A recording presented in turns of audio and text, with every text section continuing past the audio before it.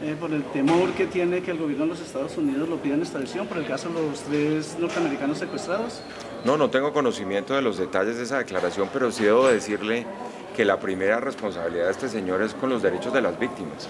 Aquí hay una responsabilidad nacional y él tiene que presentarse, él tiene que responder, él tiene que cumplir con las condicionalidades que ha puesto la Justicia Especial para la Paz y de esa manera va a obtener los beneficios. Aquí no caben excusas de ninguna naturaleza.